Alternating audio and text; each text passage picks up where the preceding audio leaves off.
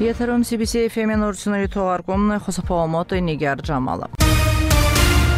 Ռաստանի նախագահ Սալոմե Զուրաբիշվիլին շնորհավորական նամակ է եղել նախագահ Իլհամ Ալիևին Ադրբեջանի Հանրապետության անկողջության օրվա արդիվ։ Այս մասին տեղեկությունը տարածել է Ադրբեջանի նախագահի մամուլի ծառայությունը։ Վստահ եմ, որ մեր համատեղ ջանքերով մենք ել ավելի կամրապնդենք Վրաստանի եւ Ադրբեջանի միջև բարեկամությունը եւ ռազմավարական գործընկերությունը։ Այսպիսով մենք կմեծացնենք մեր երկրների դերը տարածաշրջանի բարգավաճման, կայունության ամրապնդման, զարգացմանը նպաստելու գործում, ընդգծվում է նամակում։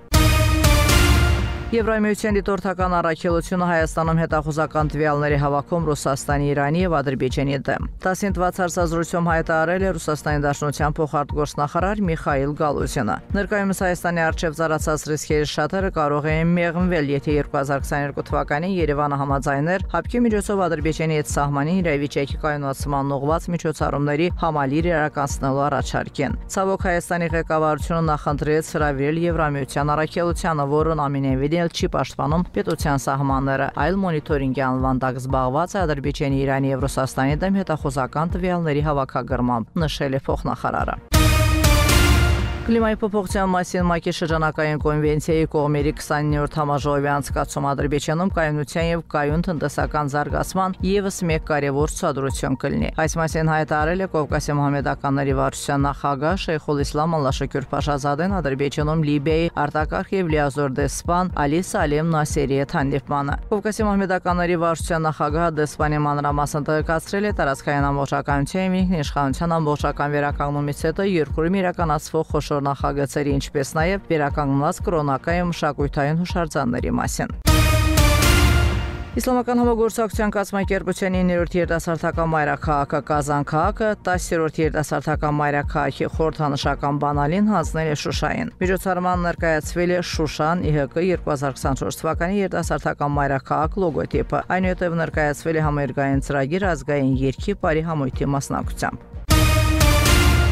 Շուշան Իսլամական համագործակցության կազմակերպության 2024 թվականի երիտասարդական մայրաքաղաք միջազգային ծրագրի շրջանակներում տարվա ընթացքում Շուշայում նախատեսում է անցկացնել 8 միջոցառում։ Այս մասին լրագրողներին ասել է երիտասարդության եւ սպորտի նախարար Ֆարիդ Գայբովը Շուշան ԻՀԿ 2024-ի երիտասարդական մայրաքաղաք միջազգային ծրագրի բացման արարողության ժամանակ։ Նախարարը հիշեցրել է, որ այս տարի Լենքորանը ընտրվել է Ադրբեջանի ինչպես նաեւ թուրքական պետությունների կազմակերպության երիտասարդական մայրաքաղաք։ 2024 թվականին մեր մարզի Գիտե երիտասարդությունը ակտիվություն է ցուցաբերում նաև միջազգային ասպերեզներում, ինչը մեզ շատ է ուրախացնում։ Մարզերի երիտասարդական կազմակերպությունների հետ մենք տարբեր միջոցառումներ ենք անցկացնելու։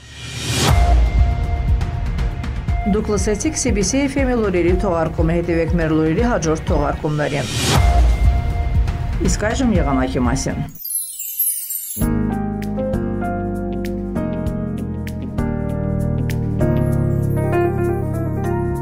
Բաքվում եւ Աբշերոնի թրակղզում սպասվում է հիմնականում առանց ստեղումների եղանակ, քամին հարավարավելյան, օդի ջերմաստիճանը գիշերը կկազմի 19-24, ցերեկը 31-36 աստիճան տաքություն։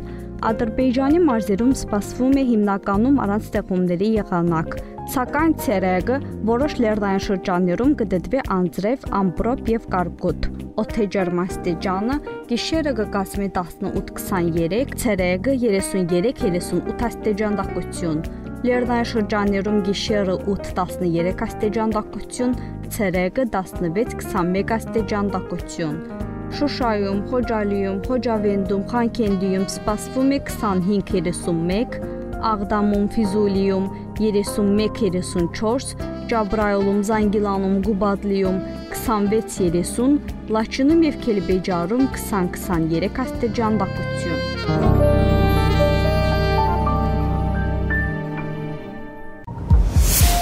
102.7 FM